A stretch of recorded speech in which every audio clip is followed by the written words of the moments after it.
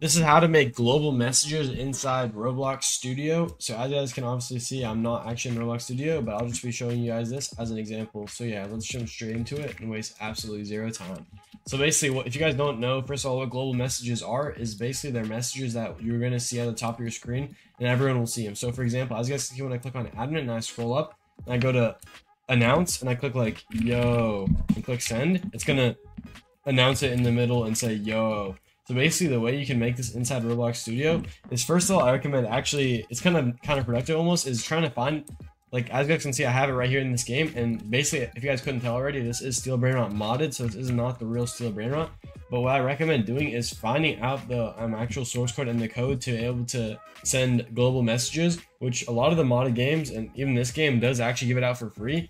And then once you do that, just put it inside your own game, and then boom, you can just use it just like that for completely free. You don't have to really do any work. It's really simple and easy. But yeah, that's the how that's the full guide. Subscribe and like, and see you guys in the next video.